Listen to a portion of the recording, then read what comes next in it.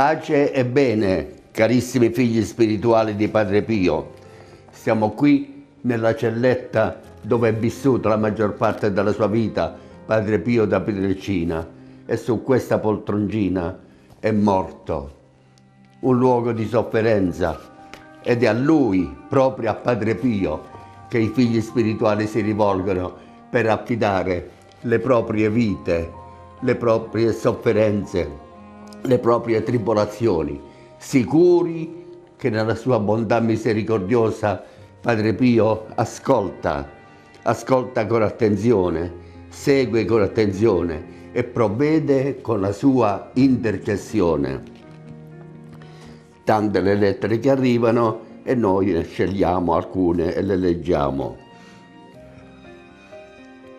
Caro Padre Pio, ti affido i miei figli e vorrei sapere cosa fare della mia vita. Ho voglia di capire la volontà di Dio. Una donna disorientata ha bisogno di capire la volontà di Dio. Come si conosce la volontà di Dio? Si conosce momento per momento da quello che siamo tenuti a fare, da quello che facciamo, dove ci troviamo, è lì che Dio ci vuole. Questa è la volontà di Dio. Non dobbiamo aspettare chissà quali rivelazioni. Ma questa donna è afflitta da questi problemi. Dice la volontà di Dio. Forse vuol significare che sia benevole nei miei confronti questa divina volontà. E noi gliela auguriamo con tutto il cuore perché ha dei problemi con i suoi fratelli. Mi vogliono buttare in mezzo alla strada.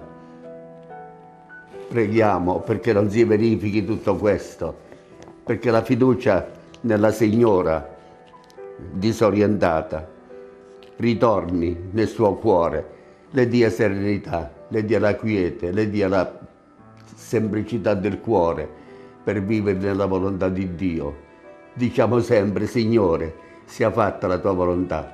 Siamo tuoi figli e tu ci ami come tali. Caro Padre Pio, è una signora cinquantenne che scrive, ammalata. Ho ripreso la terapia oncologica interrotta qualche anno fa dovuto, dovuta ad un tumore al seno diagnosticato già dal 16 che ha creato metastasi nella zona lombare. Con le dovute cure però mi sono gradualmente ripresa. Quando ebbi la conoscenza della mia malattia, sono stata a San Giovanni Rotondo diversi giorni con mia madre Delia, che adesso non c'è più, dove scrissi e depositai una lettera a San Bio, in cui promisi la cosa più cara che possiedo in cambio della guarigione, ovvero che avrei lasciato e messo in vendita la casa dove ora abito e avrebbe donato tutto a Padre Pio. Purtroppo adesso le viene un rimorso di coscienza perché questa, diciamo, questo suo voto, questo desiderio non ancora si è realizzato e la signora te, teme, ma noi le suggeriamo di avere fiducia nel Padre Pio. Padre Pio non è attaccato a tutte queste cose, le riceve con gratitudine per i bisogni dei suoi malati all'ospedale Casa Sollievo della Sofferenza ma non bisogna farsi una tribolazione se non ancora si realizza. Speriamo che tutto vada bene e che questa signora possa lasciare la sua abbondante offerta a Padre Pio e ai suoi malati. Ringrazio Dio per qualunque grazia vorrà farmi, qualunque grazia vorrà farmi.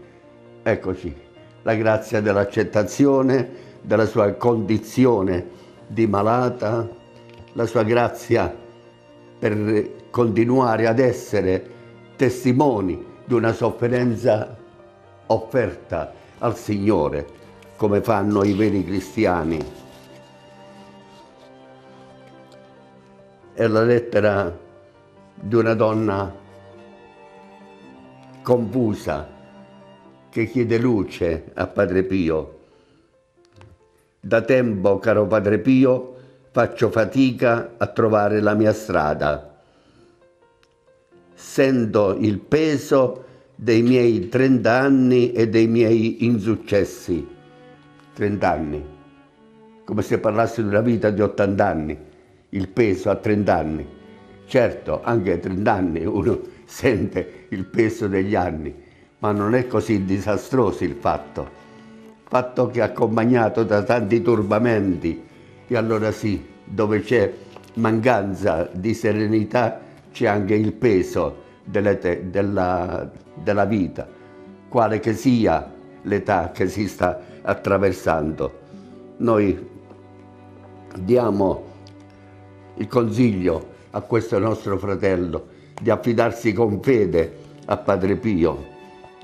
Padre Pio è uomo di sofferenza e lei comprende queste situazioni e ci viene incontro naturalmente con il suo amore di padre. Caro Padre Pio, sono stata sempre devota e seppure non sempre praticante, ho fiducia nella preghiera. Spesso prego per chiedere aiuto dove il buio prevale sulla luce, come in questi mesi in cui il dolore fisico mi sta lacerando sono costretta a letto, non ho autonomia. Ringrazio Dio che mio marito si prende cura di me e della casa, ma vedere mio marito e mio figlio addolorati mi distrugge il cuore. È una mamma, è una moglie che vuole continuare a sbrigare i suoi doveri, a farli con tutto il cuore, con tutto il proprio amore, ma non può, non sta bene in salute, è allettata. E allora è la donna stessa che apre gli occhi sul cuore buono del marito, sul cuore buono del figlio e ne ringrazia Dio.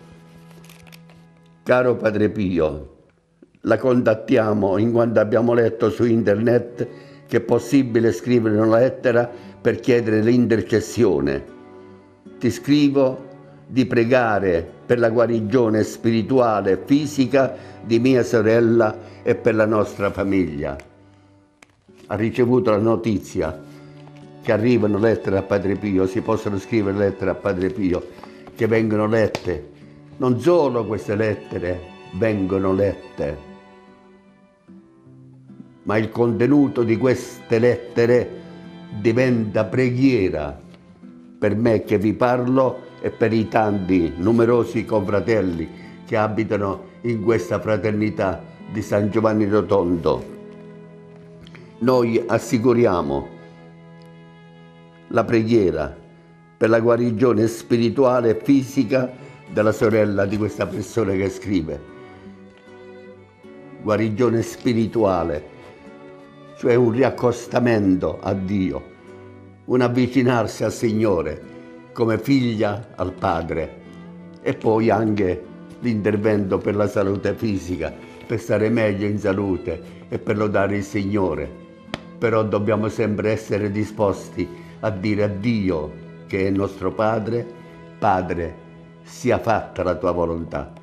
Tu mi ami, tu mi vuoi bene, tu fai tutto per il mio bene. Caro Padre Pio, ti scrivo perché tu possa fare qualche cosa riguardo alla mia situazione familiare. Il padre di mia figlia ha fatto molti errori e continua a farli. Non siamo separati. Abbiamo una figlia di quasi 18 anni. Lui prende sempre le decisioni da solo, senza consigliarsi né con me né con mia figlia. Spende soldi inutilmente, quando potrebbe usarli per la famiglia. Ha aperto uno stabilimento in Albania dove tiene anche i suoi fratelli.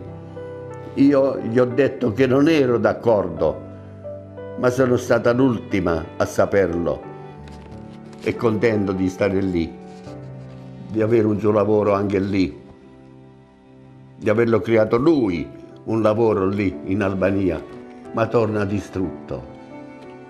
Torna distrutto perché c'è una voce della coscienza a ricordargli quello che deve fare nella sua casa, quello che deve fare con la moglie, quello che deve fare con la figlia, cioè vivere questa comunità familiare nella intensità. È quello che auguriamo e che Padre Pio esaudisca queste preghiere. Presentiamo a Padre Pio tutte queste necessità dei tuoi figli spirituali, o oh Padre Pio. Provvedi tu sei buono, tu sei misericordioso, tu comprendi le nostre ansie, le nostre tribolazioni. Intercedi sempre per noi, presso il benedetto Signore Gesù